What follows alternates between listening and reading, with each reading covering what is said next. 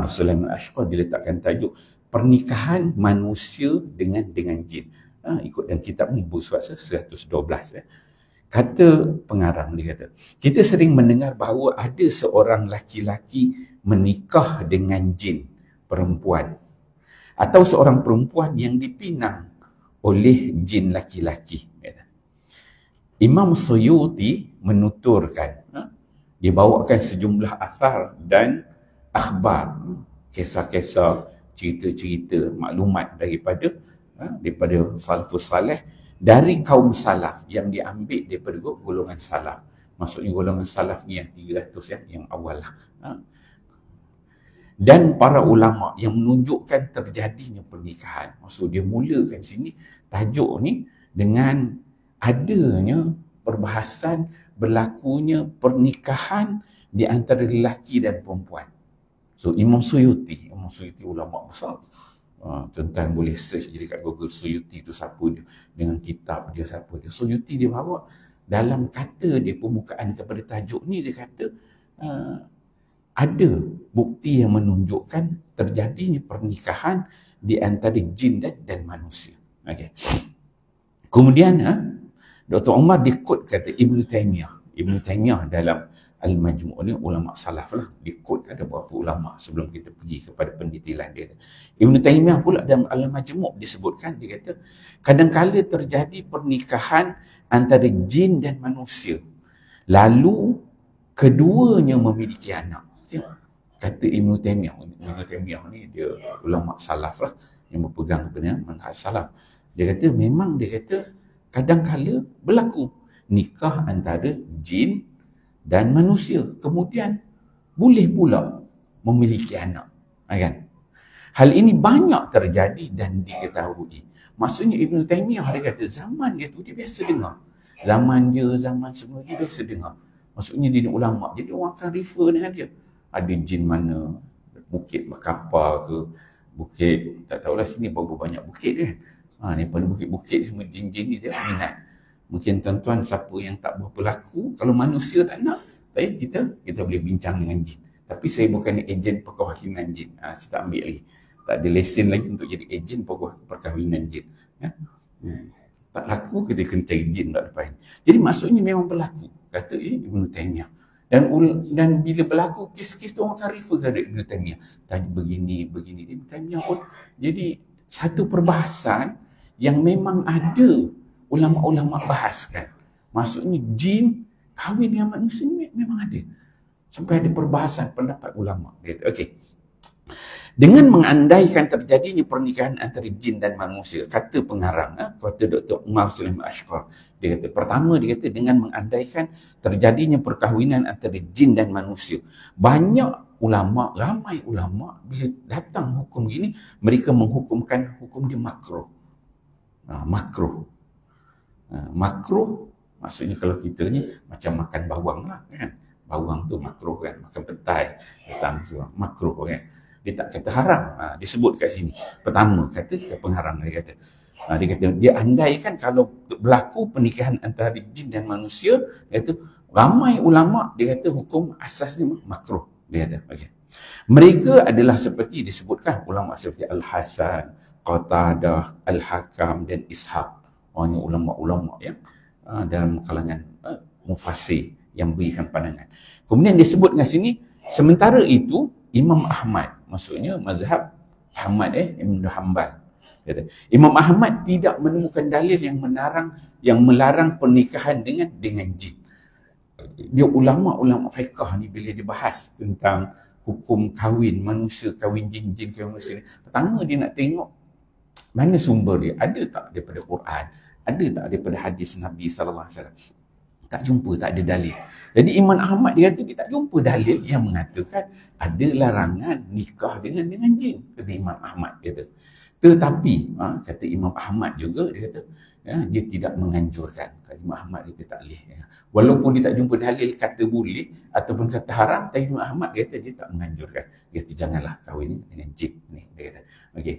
Ia berdalih dengan mengatakan kata Imam Ahmad dia kata akan tetapi aku tidaklah senang andai ada perempuan yang hamil lalu ditanya dia dia bawakan satu suasana satu keadaan boleh berlaku kalau kahwin uh, antara manusia dengan jin nanti akan berlaku dia kata ada perempuan yang hamil perempuan mengandung lalu ditanya pada perempuan tu dia kata siapakah suamimu maka ia menjawab suamiku adalah dari golongan jin wah ni oh memang payah lah. Jawab macam tu dia kata.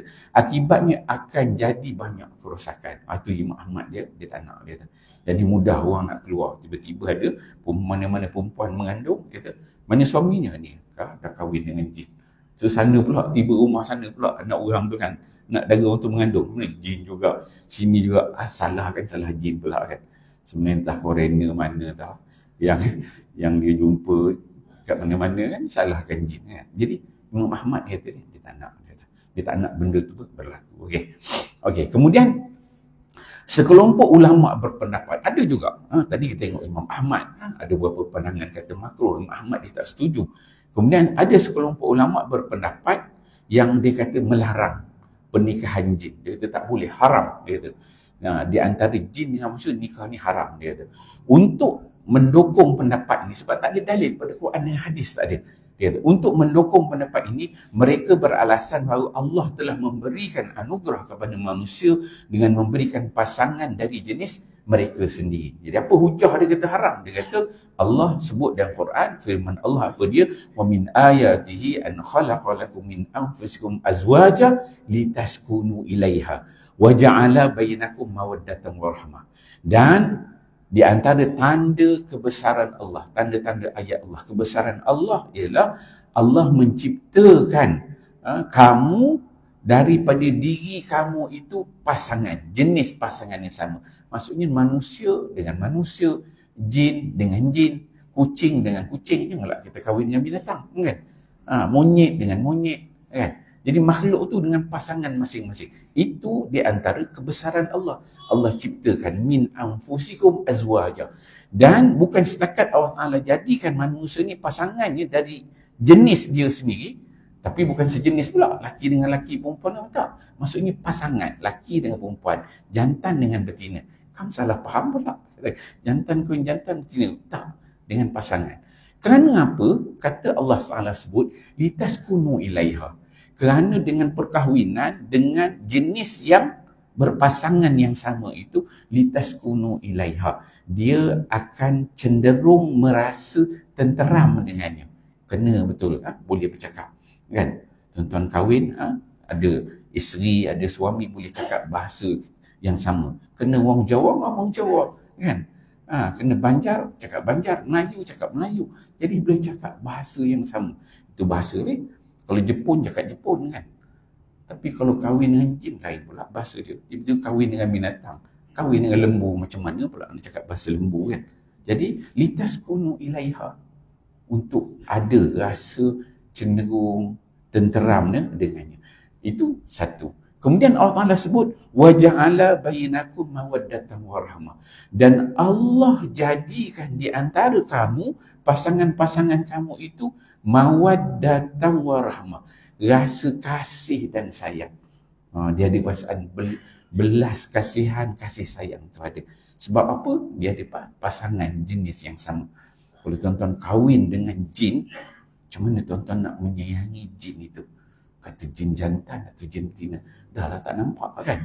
Malam tunggu dah balik belum? Mana tunggu dia tak nampak kan? Bila pula nak balik kahwin dengan jin? Ui payah kan? Kan dia jalan rumah orang lain pula kan? Tak nampak pun dia tak nampak. Macam mana? Bagaimana kita nak hidup dengan suasana yang makhluk bukan berada di alam kita? Kan? Dia boleh kata ini ini suami dia, sana pun suami dia, itu pun suami dia. Empat lima orang semua, semua suami dia. Ha, boleh berlaku begitu. Kan? Sebab kita dia tidak berlaku litas kunu ilayah. Dia tak tenteram, tak ada ketenangan. Dan bagaimana nak membina mawaddah warahmah, kasih sayang. Ini, ayat ini diambil oleh ulama yang mengatakan haram nikah dengan dengan jin. Okay. Kemudian eh, kata kata pengarang, kata Dr. Umar dia kata, andai pun terjadi pernikahan, andai, dia buat andaian. Dia kata, andai pun terjadi pernikahan antara jin dan manusia, kalau terjadi juga dia kata, ada kahwin jin dengan manusia. Tidak akan terjadi kerukunan dan keserasian antara suami isteri kerana adanya pelbagai perbezaan jenis-jenis yang berbeza. Kita ni daripada daripada tanah. Jin tu daripada api. Jadi api dengan tanah dia, tak masuk. Ha, kan? Banyaklah berbeza. Dari sudut alamnya, uh, kerukunannya. Akibatnya hikmah perkahwinan tidak terwujud. Kerana tidak terwujudnya ketenteraman dan kasih sayang sebagaimana yang disebut dalam ayat ini di atas. Ha, tu uh, disebutkan oleh pengarang. Dengan demikian, persoalan ini ada sebahagian orang yang meyakini pernah terjadi. Ha, ni. Ini yang mengadu kepada para ulama. Ini yang disebut oleh Soyuti, yang disebut oleh Ibn Taymiyah. Ada yang mengaku kata memang berlaku perkahwinan dengan, dengan jin. Meyakini pernah ter, terjadi. Baik waktu ini, waktu ini, saat ini, mahupun yang yang lampau, kata pengarang. Andai pun terjadi, ia merupakan penyimpangan yang jarang sekali. Kalau ada berlaku pun jarang kita dengar. Tuan-tuan ada dengar orang kahwin dengan jin? Saya tak pernah dengar. Saya baca kitab ni baru saya dengar. Kan? Aku ada orang kampung sini ke ada? Ada jemaah surah wajib yang ingin kahwin dengan jin ada? Tak ada kan? Ke ada dalam geng-geng jin? Tak ada kan? Okey. Okay. Orang yang melakukan pernikahan semacam ini tidak lagi bertanya tentang hukum syariat berkaitan perbuatannya kerana ini adalah orang yang tak berdaya dan tidak boleh melepaskan dari dirinya. Kata pengarang, orang yang betul-betul kalau dia berlaku, dia kahwin dengan jin, sebenarnya dia dah berlepas dengan syariat kita. Kita ada hukum begitu begini dalam hukum Islam kita kan. Dia dah lepas, dia dah keluar dah daripada kerangka itu. Kalau dia kahwin, siapa walinya, siapa saksi dia, mak mak bapak budak tu macam mana semua. Dia dah luar daripada syariat kita. Ini kata kata Dr. Umar Sulaiman dia. Salah satu dalil yang menunjukkan kemungkinan terjadinya pernikahan antara manusia dan jin adalah bahawa ketika menyinggung tentang bidadari syurga. Allah Subhanahu Wa Taala berfirman, tidak pernah disentuh oleh manusia sebelum mereka. Ha, dalam surah Ar-Rahman, ha, Allah Taala sebut, lam yatmishunna insun qablahum walajan dia surah Ar-Rahman ni ada. Ha, tuan-tuan biasa dengar fa bi ayyi ala rabbikuma tukadzibun. Banyak kali banyak kali ayat tu. Fa bi ayyi ala rabbikuma tukadzibun. Dan ha, bila Allah menceritakan tentang uh, makhluk Allah yang Allah ciptakan dalam syurga bidadari-bidadari syurga. Nak ceritakan hebat cantiknya bidadari syurga ni bersihnya bidadari syurga tu Allah Taala sebut lam yatmishunna insun qablahum walajat yang mana bidadari syurga ni tidak pernah disentuh. Tidak pernah disentuh tu ulama sebut ha? di uh, ditiduri ha? disentuh. Insun qablahum walajat sama ada manusia ataupun jin Ayat ini bila ulama baca dia kata oh maksudnya ada uh, bidadari dalam syurga. Bidadari ini merupakan hadiah daripada Allah untuk penghuni syurga. Maka yang ada namanya bidadari dia ni boleh menjadi pasangan manusia dan juga jin. Sebab dia kata lam yatmis hunna insun qablahum walajat maksudnya manusia boleh jadikan bidadari itu pasangan jin juga boleh menjadikan bidari itu sebagai pasangan. Jadi maksudnya boleh berlaku hubungan antara jin dengan bidadari, boleh berlaku hubungan manusia dan juga bidadari. Jadi gitu tengok. Oh. Jadi ulama kata kalau benda itu boleh berlaku, maka manusia dengan jin pun dia ada kemungkinan dia boleh ber- berkahwin. Ha ni dalil yang ulama ambil kalau nak melihat mengatakan berlakunya perkahwinan antara manusia dan dan juga jin eh, dia kata. Penghuni-penghuni syurga yang menjadi suami mereka dan tidak pula oleh jin. Maksudnya jin pun tak pernah sentuh nak ceritakan hebat bersihnya bidadari syurga tu. Manusia tak kena sentuh jin juga tak pernah sentuh dia bidadari syurga dia kata. Ayat ini menunjukkan kelayakan para bidadari itu untuk jin maupun manusia Maksudnya ada makhluk yang Allah Ta'ala cipta namanya bidadari. Dia bukan dari golongan manusia. Bukan juga jadi golongan jin. Bukan daripada golongan malaikat. Dia ni jenis duduk kat syurga bidadari untuk menjadi pasangan manusia dan dia ni juga menjadi pasangan jin. Sebab dua makhluk Allah yang ditaklifkan وَمَا خَلَقْتُ الْجِنَّ وَالْإِنْسَ لِيَعْبُدُونَ Dua jenis, manusia dan juga jin Tugas dia untuk beribadah kepada Allah. Sebab dia taklifkan untuk beribadat dan dua makhluk Allah, manusia dan jin di akhirat besok akan akan dihisap. Dan bila dihisap tentu ada syurga dan neraka untuk dimasuki oleh manusia dan jin dan ada balasan syurga daripada Allah Subhanahu Wa Taala. Jadi makhluk yang namanya bidadari itu boleh jadi milik jin, boleh jadi milik manusia. Okey. Habis kat situ eh. Ha, itu tajuk pernikahan manusia dengan jin. Saya ikut sikit saya ambil ni yang dalam kitab ni. Uh, saya ikut sikit saya ambil ni daripada uh, uh, apa namanya? Fatwa wilayah persekutuan. Dia ceritakan tentang perkahwinan antara jin dan, dan manusia. Dia bahaskan. Tadi kita nampak sedikit rangka dia. Okey, dia kata kat sini. Berkenaan dengan isu perkahwinan antara jin dan manusia. Secara ringkasnya terdapat tiga pandangan ulama' Ha, ni, ha, daripada wilayah punya ha, fatwa dia sebutkan. Yang pertama dia kata hukumnya haram. Manusia kahwin dengan jin, pertama dia kata haram. Ini ialah pendapat Imam Ahmad, Imam Zuhri, Al-Hakam, Qatadah, Hassan Al-Basri, Hajjaj Ibn Arpad, Abu Hamad dan Imam Al-Ghazali. Pertama kata, kalau berlaku nak kahwin, tu tak boleh. Haram, tu pertama. Yang kedua dia kata hukumnya makruh. Makruh apa dia makruh ni? Inilah pendapat Malik. Maksudnya mazhab Maliki pertama ni Imam Ahmad. Mazhab uh, Ahmad kata uh, haram. Kemudian makruh ikut Imam Malik. Kalau orang berpegang kepada mazhab Maliki hukum dia makruh. Boleh. Boleh tapi mak makruh dia kata. Pendapat Imam Malik dia kata Qatadah Al-Hakam Al-Hasan Uqbah bin Al-Asam Ishaq bin Rahawai ini pandangan yang katakan makruh. Dan sebagian ulama sebut makruh ni, dia kata makruh ni uh, dia mirip membawa kepada haram. Kata. Tapi pendapat Imam Malik dia kata makruh. Maksudnya boleh berlaku. Cuma dia makruh hukum dia.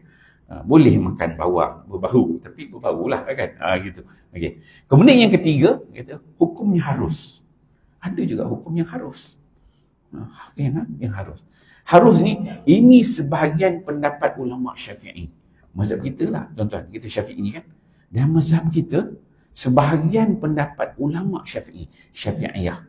Ulama dan mazhab syafi'i, sebahagiannya mengatakan hukum perkahwinan antara jin dengan manusia itu harus hukum dia. Boleh kahwin. Ya, ini juga merupakan pandangan sebahagian ulama salaf. salaf. Seperti Al-Tha'labi, Al-A'mash, Osman bin Said Ad-Dari, kata Syekh Abu Hamid Al-Aimad bin Yunus, ya, boleh untuk manusia berkahwin dengan jin. Kenapa ulama-ulama ni cakap begini? Ada ulama kata haram, ada ulama kata makruh, ada ulama kata harus. Sebab mereka ni masing-masing ni mempunyai khalfiat. Masing-masing ada track record yang berbeza cerita.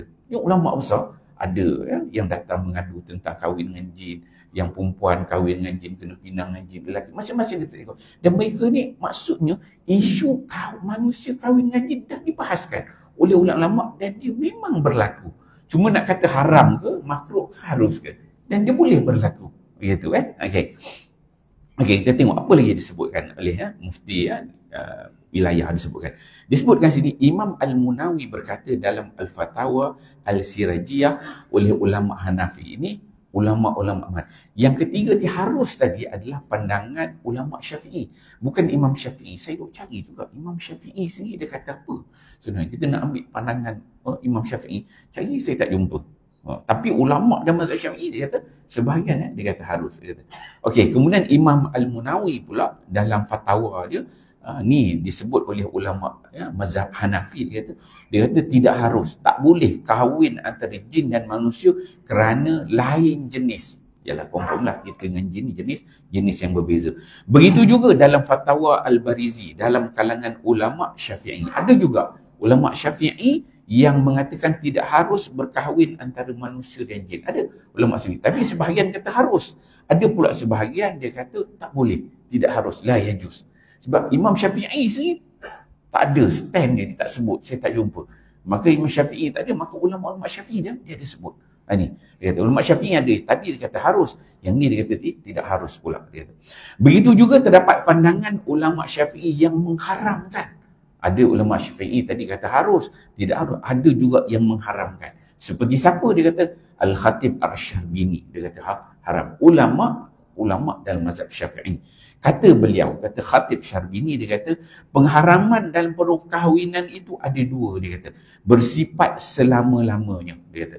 Uh, Antara bentuk perkahwinan yang diharamkan selama-lamanya adalah perkahwinan antara jenis yang yang berlainan. Contohnya, tidak dibenarkan perkahwinan antara lelaki dari kalangan manusia dan perempuan dari kalangan dari kalangan jin atau sebaliknya. Kata Khatib Syarbini ha, dalam ha, dalam dia membahaskan ha, jenis-jenis kahwin yang haram ni dia buat contoh jin. Manusia kahwin dengan jin ha, sama ada manusia tu lelaki, jin itu betina ataupun manusia tu perempuan, jin itu jantan.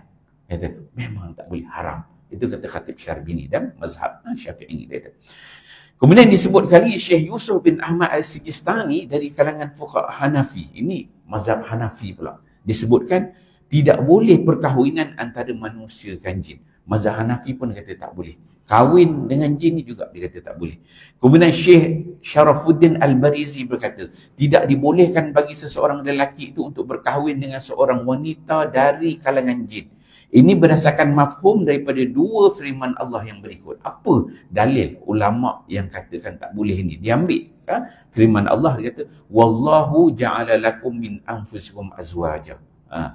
Allah subhanahu wa ta'ala telah menjadikan buat kamu isteri-isteri daripada diri kamu sendiri. Ha, kemudian Allah Ta'ala sebut wa min ayati an khalaqalakum min anfusikum min anfusikum azwajan litaskunu ilaiha. Ini ayat yang saya baca di kitab tadi. Apa dia? Dan di antara tanda-tanda kebesaran Allah adalah dia menciptakan buat kamu isteri-isteri dari diri kamu sendiri supaya kamu berasa tenang eh, kepadanya. So dia ambil dua ayat ni. Dia mengatakan tak boleh. Dia kata, ha? tak boleh kahwin. Dia kata. Kemudian ha, itu sudut mazhab dia pula. Kemudian pada ulama tafsir pula.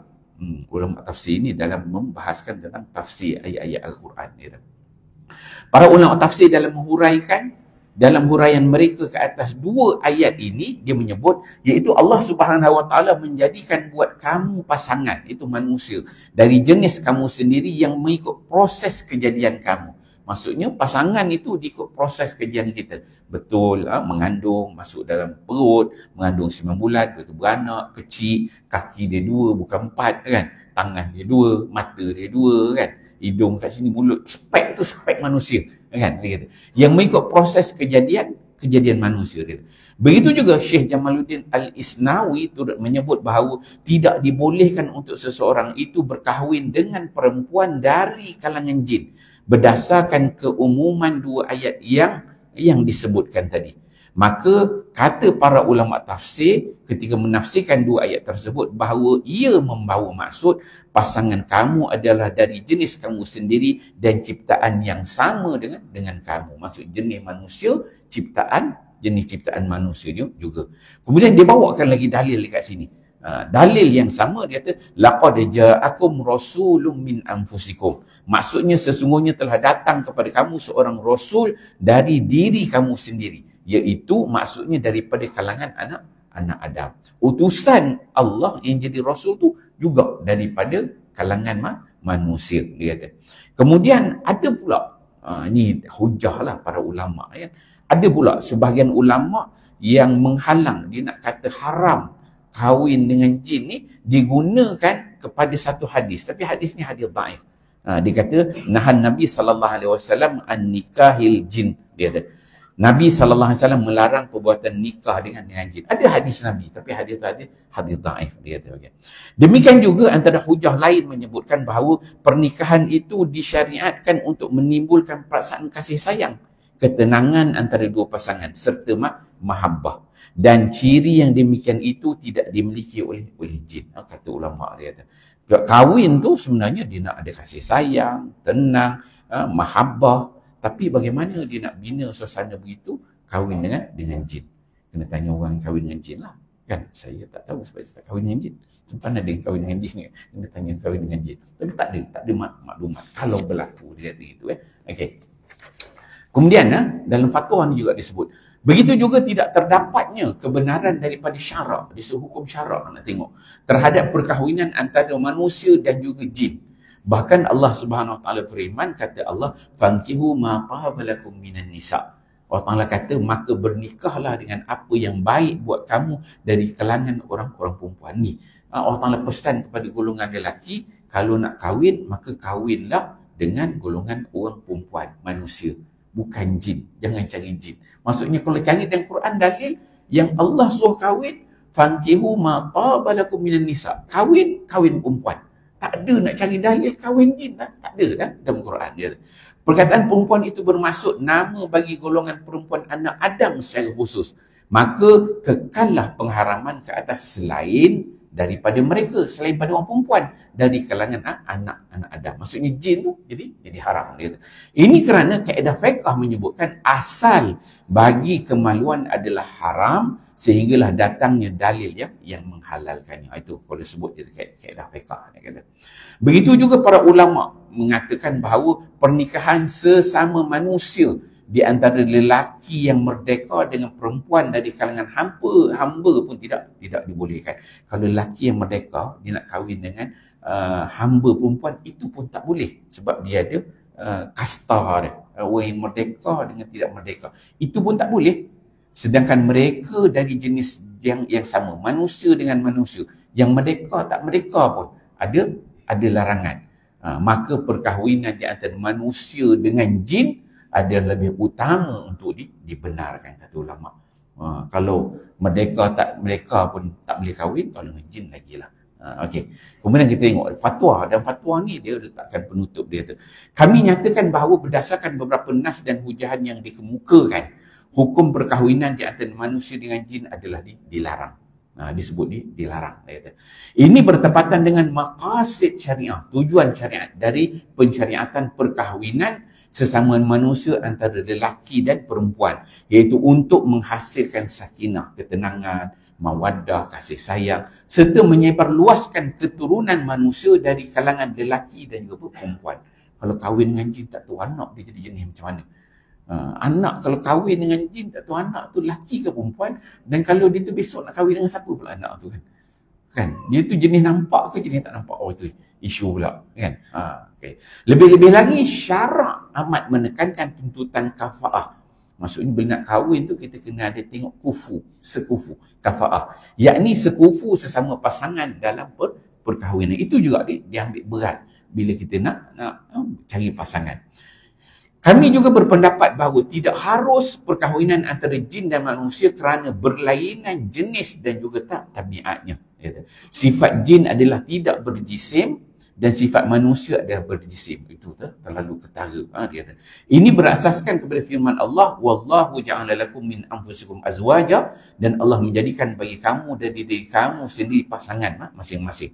Mafhum daripada ayat ini menunjukkan kepada kita bahawa manusia dikurniakan Allah isteri dan juga suami mereka dari jenis mereka sendiri dan ia berbeza yang amat ketara antara manusia dan juga dan juga jin ini dijelaskan dengan firman Allah wa min ayati an khalaqalakum min anfusikum azwaja litaskunu ilaiha wa ja'ala bainakum mawaddatan wa rahmah. Itu ayat yang saya bacakan awal tadi dia.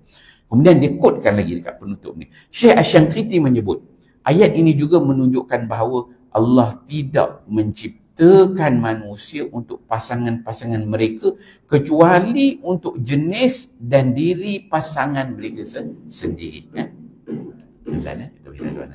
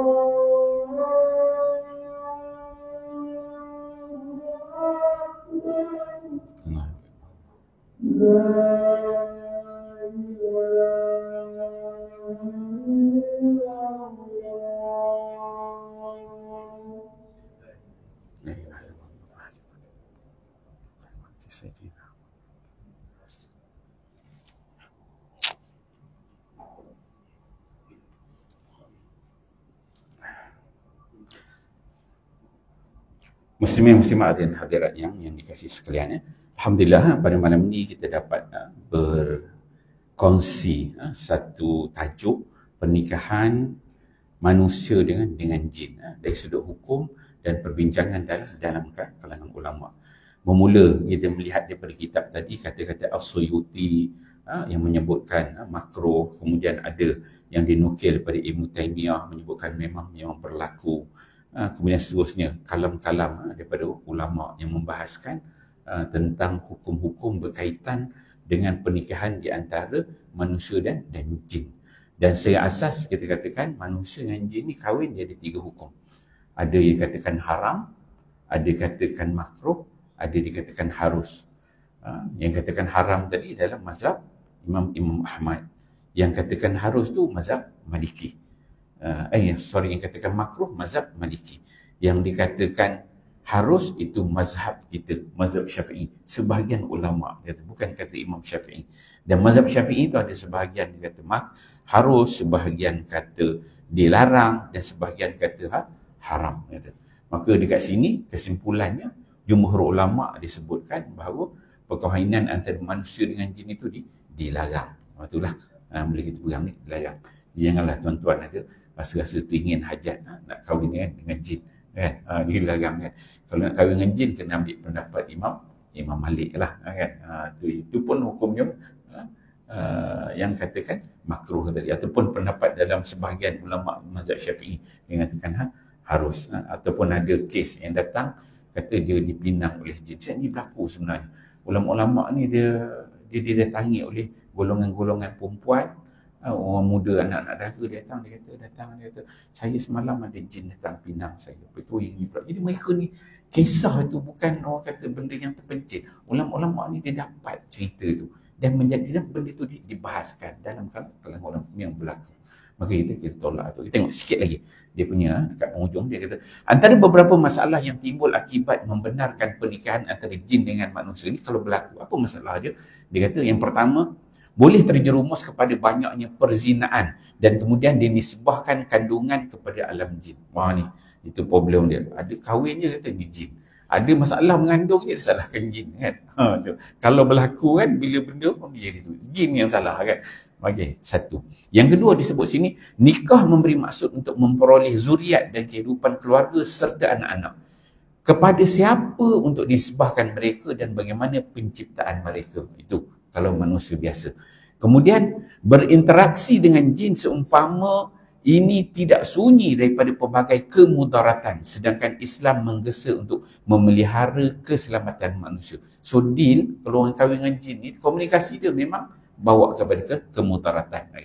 Kemudian yang keempat disebut ni lebih parah lagi ia membawa kepada membuka pintu kepada banyak persoalan yang tidak berkesudahan dan sukar di, diselesaikan. Oh, yang kahwin dengan jin lah, dia akan jadi itu kesudahan dia. Okey, kami akhiri dengan pendapat Syekhul Azhar, Syekh Jad Al-Haq, Ali Jad Al-Haq. Antara lain dia menyebutkan perkahwinan ini perlu dipastikan dan disahkan terlebih dahulu kita kalau nak kahwin kena pergi daftar, kena isi borang, kemudian kena ada wali, kena ada saksi, kena cukup lah semua ruko-ruko ni semua kan. Tiba-tiba nak kahwin dengan jin ni senang-senang kan, dah kahwin, dah kahwin kan, dia kata kan. Ni dah, dah, dah, itu. Itu yang dikatakan oleh Syekh Azhar, dia kata kena disahkan terlebih dahulu. Persoalan ini amat jauh daripada wakil dan realiti semasa. Memang payah nak berlaku. Hal ini kerana permasalahan qada hukum dan perundangan diputuskan berdasarkan kepada dalil yang dibawa uh, oleh kertas perbincangan dan ikrar pengakuan yang diterima secara secara syarak. Semoga dengan penjelasan ini kita memahami agama kita dengan dengan sebaik-baiknya. Ha? Itu ha? berkaitan dengan nikah antara manusia dan, dan juga jin. Dan sedikit ha? saya sentuh berkaitan dengan uh, kalau uh, bagaimana dia tak nikah, ni bukan nikah. Maksudnya kalau hukum banyak berlaku kalau perempuan ni tidur di uh, ditiduri oleh jin. Maksudnya dia tidur jin datang. Ha, dia ada beberapa spek. InsyaAllah kalau ada masa ni kuliah-kuliah akan datang kita akan bincangkan. Bagaimana seorang perempuan tu tidur dia ada dua keadaan. Bila perempuan tidur orang lelaki jarang kena. Ini cerita banyak perempuan kena. Dia tidur. Bila dia tidur ada makhluk jin datang dah datang ha, tidur dengan dia sekali bersama dengan dia lah. Ha, duk buat projek dengan dia. Sekarang bila jin itu datang jin tu dia ada dua keadaan. Sama ada jin itu perempuan tu tidur dia sedar. Yang datang dalam mimpi lah maksudnya dalam mimpi dia sedar yang datang tu memang makhluk jin. Satu. Dia dapat rasakan makhluk tu rupa jin semua. Kan jin tu datang jin tu berupa manusia lah menyeduri tidur dengan dia melakukan hubungan dengan dia. Ha. kemudian yang kedua uh, dia tidur jin datang melakukan hubungan dengan dia tapi dia tak dapat nak trace ini jin ke bukan. Tak apa jelas. Ulama kata ada pecahan dua, dua keadaan. Kemudian ulama bahas adakah dia bangun tidur ada kesan air mani ataupun tak ada kesan itu juga dibahaskan. So ada dua jenis. Jelas jin ataupun tak jelas jin. Ini jenis dalam tidur. Perempuan dalam tidur ada betul-betul jin, ada tak apa jelas jin kan. Entah dia tidur, entah foreigner mana ke pergi dia, ingat jin kan. Sebenarnya orang kan, ha, dia duduk sangka-sangka jinnya tak, sebenarnya orang sebelah duduk nyawak berkati dia, duduk tak malam lompat atas dia, dia ingat jin kan. Oh berat, okay, berat kan. Ha, tu. Maka ulama dia akan tengok. Ada lepas tu, adakah berlaku ada tinggalan air mani atau tak ada? Itu dibahaskan ada hukumnya. Maksudnya perempuan ni perlu mandi ataupun tidak? Satu aspek. Kemudian berlaku juga uh, perempuan tidur uh, baru nak tidur dalam keadaan sedar. Disebut yaqazah. Satu fil manam dalam tidur.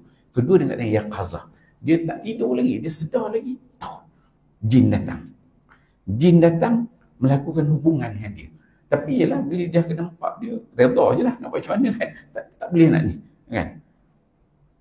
Dalam keadaan dia sedar. Jin datang melakukan hubungan dengan dia. Satu. Dan boleh berlaku dalam keadaan dia sedar juga. Jin datang tapi dia tak dapat trace. Ini betul-betul jin ke bentuk manusia ataupun bukan. Dia tak apa jelas. Maka ulama dia akan tengok. Lepas tu adakah dia ada kesan air mandi ataupun tidak, ada hukum kena mandi ke tak mandi itu, kemudian adalah perbahasan uh, ulama-ulama. Yang ni, ni soalan ni ditanyakan kepada para ulama. Dia kata dia dah sebelum tidur dengan baca Qurannya, dengan zikirnya, macam-macam lah dibuat. Tapi kena juga. Maka mereka ni mengadu kepada ulama dan benda ni jadi kes. InsyaAllah kita bahaskan pada kuliah-kuliah yang akan datang insyaallah. Auzubillahi minasyaitonir Bismillahirrahmanirrahim. Alhamdulillahirabbil alamin wassalatu wassalamu ala asyrafil anbiya'i wal mursalin wa ala alihi washabihi ajmain. Allahumma ij'al jam'ana hadza jam'an marhuma wa tafarruqana min ba'dihi tafarruqan ma'suma wa la taj'alillahumma fina wa la ma'ana wa la yattabi'una syaqiya wa la matruda wa la mahruma bi rahmatika ya arhamar rahimin. Rabbana atina fid dunya hasanah wa fil akhirati hasanah wa qina 'adzab benar. Wassallallahu ala sayyidina Muhammad wa ala alihi wasallam. Walhamdulillahi rabbil alamin. Assalamualaikum warahmatullahi wabarakatuh.